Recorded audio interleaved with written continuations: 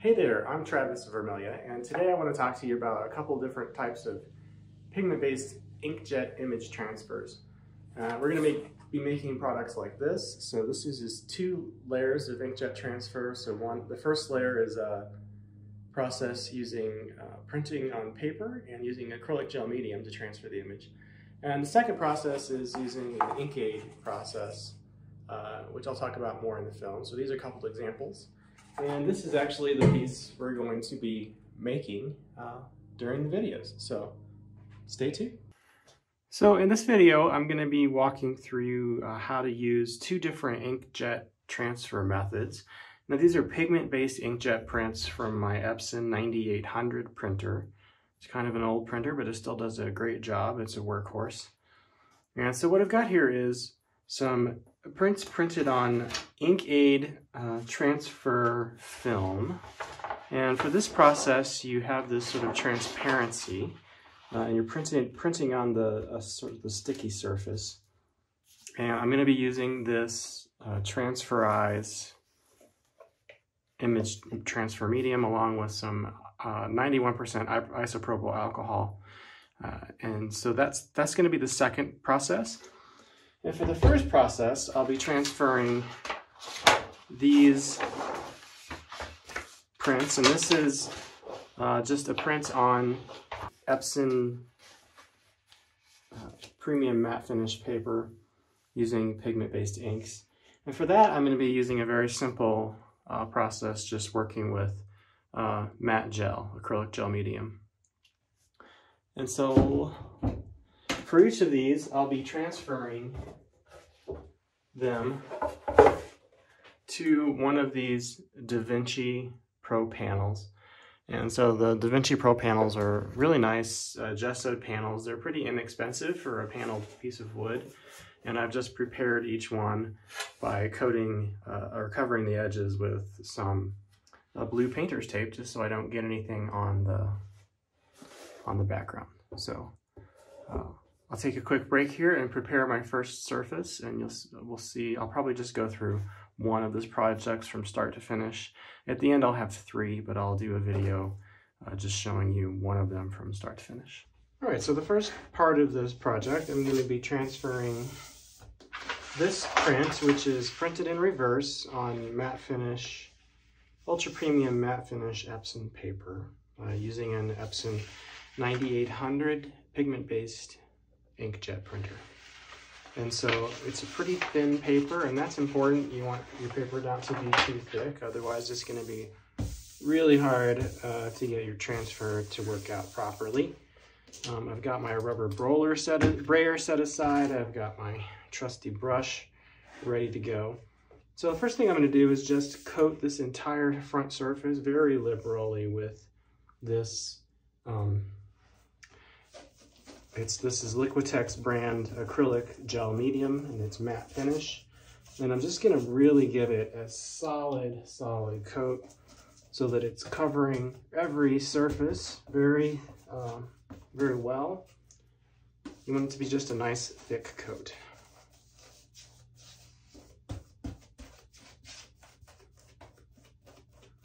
I'm not I'm not gonna worry too much about uh, things uh, overlapping the edge or any sludge around the edge right now. We'll take care of that in a moment. First thing though is just to get a really nice, even, smooth as you can get it, coat. Uh, and do it fairly quickly so things don't dry out. Now this is a gesso coated board and so it tends to absorb uh, the medium pretty, pretty um, quickly at first. So you might notice little areas that are kind of drying out fast. So I just suggest keep applying it little bits at a time until you get a good even coat. Like I don't feel any stickiness hitting my brush or anything right now. Getting a nice smooth glide across the surface. So I think this is good. And at this point, I'm gonna take my print and I'm just gonna carefully try to arrange it on the paper, just eyeballing things. Um, using my fingers to touch the edge of the board here. And I feel like I'm gonna pull it up just a little more. And that is good. After I've got my print placed, so you can see that it's on there pretty well, I'm just gonna use my rubber brayer and I'm gonna sort of out any excess material on there. I'm always just working from the center to the edge, so you're pushing it away.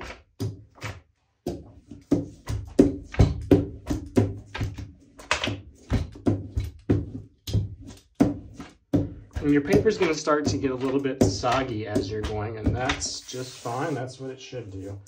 So just be careful with those corners. Make sure that they're really covered well. I like to use the brayer and actually rub over those corners so it stops trying to pull up like it's doing. You'll see those creases. And once you see those creases, that's exactly what you're looking for. If you don't have a rubber brayer, you could always use like a squeegee of some sort or even just your hands to smooth it down. Um, some sort of wood, piece of wood to, to it, uh, spread out the medium would also work. You're going to notice little areas that pop up and get wrinkly. Uh, don't worry too much about it. I always think it just adds a little bit of character. And once I've got this around the edges, I'm actually going to very carefully pick this up without touching the paper and flip this over upside down. And now I'm going to apply more acrylic gel medium along these edges, along these borders, because I do want those to stick down uh, in this process.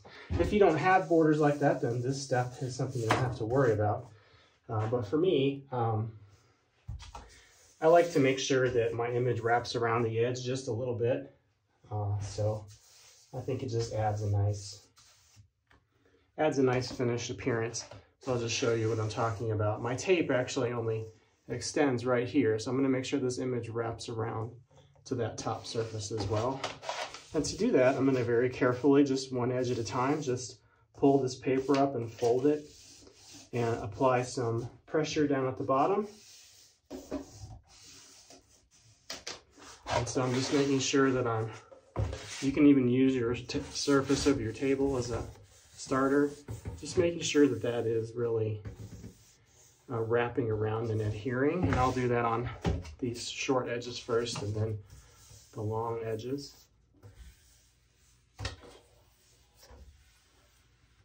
And it gives a really nice appearance uh, when it's finished. You'll have this uh, sort of wrapped around image that uh, just looks really good. So again, I'll use the, um, surface that I'm working on, sort of bend that a little bit. Oops. Same thing here. And then rub that out. And when you get to the corners, you just want to pinch those together and then fold them over. You can see there's even a little bit of medium squishing out the edge there. That's totally fine. So I'm just going to pinch those corners together and fold them in. And that'll give me a crease uh, that I can work with. And you can use your rubber brayer, on these edges as well.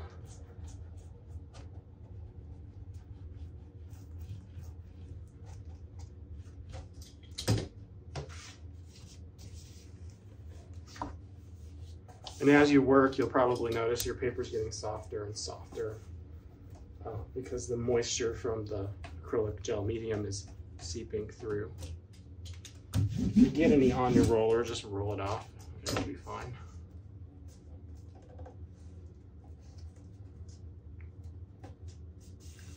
So when you're finished, you should have this nicely coated, nicely covered uh, piece that looks like a little package with all of the corners uh, folded down neatly. Um, and that should give us a really good quality transfer. So we'll look at this again tomorrow. I'm gonna let this dry overnight. It's really important that you let the acrylic gel medium completely dry before you move to the next step. And the next step is, is going to be basically rubbing this paper off uh, with some water. Okay, so we're gonna continue on with this pigment-based inkjet print image transfer. And so this has been drying, drying overnight. It's very much uh, sort of adhered. You can see that it's sort of suctioned down onto the uh, substrate. And so that's exactly what we want. And the next part of this process is to remove the paper. And we do that, I like to use uh, just an old washcloth or towel and some water. So I've got a container of water here that I'll just be dampening the surface with. And I'm just gonna start rubbing over this surface. And this is one of the main reasons we use, you know, a, soft, a thin paper, as thin as possible, is you wanna be able to just really dampen this down and let the water soak in. Um, and it's gonna soften up that paper and we'll start rubbing off after we let it set for just a minute. I'll start using this cloth to rub that paper off. So I'll just go ahead. I want to put a pretty substantial amount of water on here so that it's soaking through and really softening up that paper. And I'll go ahead and do that around the outside edges as well. And you can see it's already starting to pill up and um, come away. So I'm just gonna start in the middle and start rubbing until I can begin to get through that paper surface. And after you get through the paper, then you can begin to just start, start rubbing away that paper edge.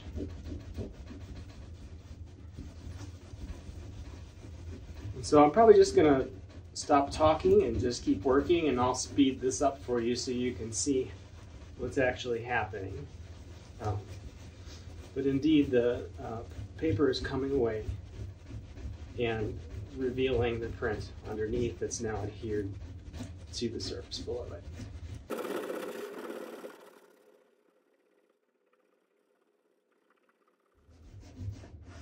And now you're noticing I'm getting some pieces that are rubbed away, and that may happen. Uh, it's kind of part of this process. You have to be really careful not to let that happen at all. Um, but when it does, uh, the other thing you can really do is just kind of embrace it and move on. Um, so I'll make some effort to try to cover that up with some acrylic paint.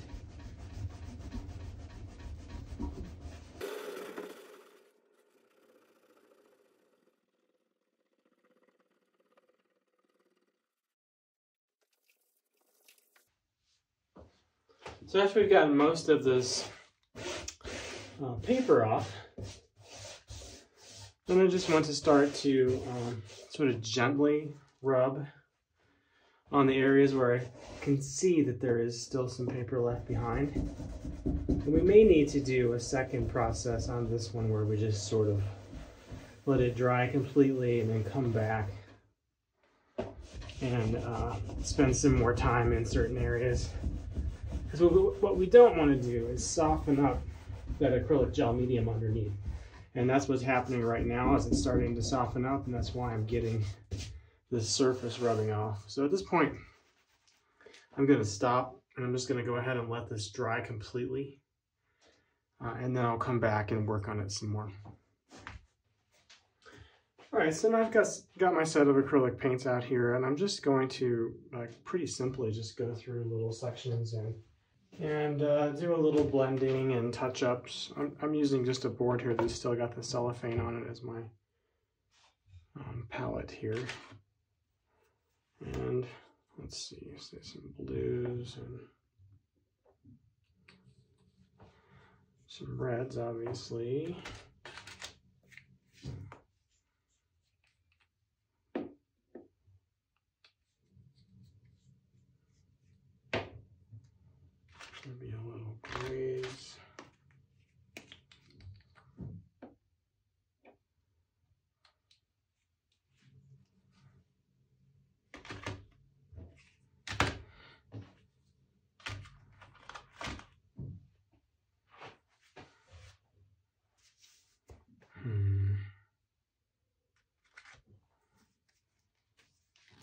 I feel like there's a touch of blue in there that I might need.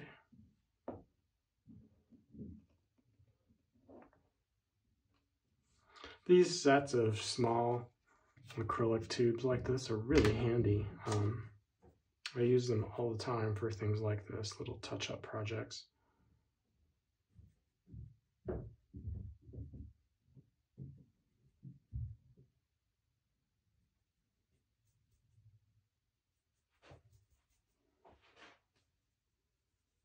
So I don't care about it being too completely perfect right now. I just want something I can lay in here and try to cover up a little bit of the appearance of. And I think I'll probably coat this entire thing with a slightly white coated um, matte gel. And so I've got this, uh, it's um, acrylic matte gel medium again, but I've incorporated a little bit of white paint in here. And so I will scoop some of this on here after this paint dries in a few minutes and just go ahead and roll that out um, onto the surface so it at least has more of an even appearance. This is pretty well dry now. Um, and this next section is not necessarily part of the image transfer process. It's more part of my process. Um, I just liked, I like in my work, I like, in some of my work, I like this um, sort of rustic appearance. And so I'm just gonna put on a little bit of this. It looks very white right now, but it's actually uh, transparent gel medium. So I'm just gonna rub some of that on there and I'm gonna use my rubber brayer to roll it out. And I don't want it to be too thick on here. I just, I'm just trying to give an overall sort of faded look to my piece. Looks like I've got some dried up stuff on here.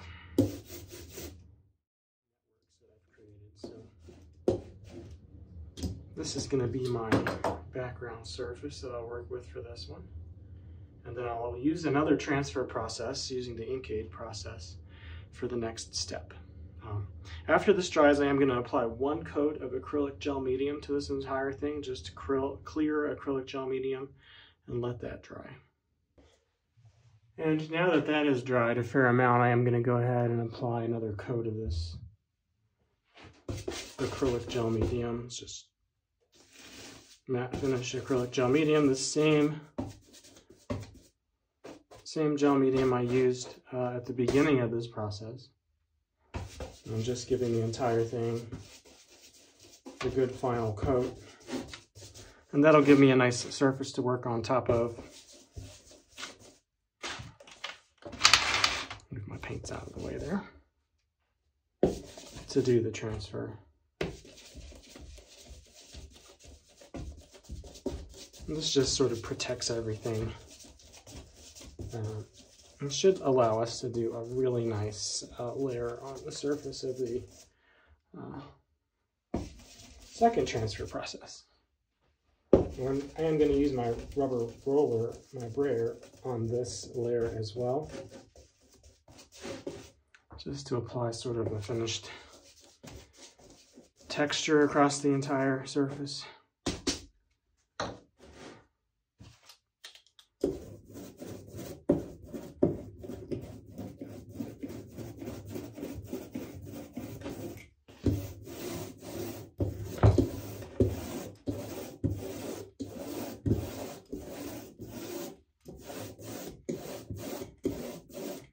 I'm just very careful about, you know, looking at the lines in here and see if I'm leaving anything unappealing behind and being just kind of a gentle last roll to give a nice even texture over that surface. And then I'll rinse this off. After this completely dries, we'll do the second image transfer process.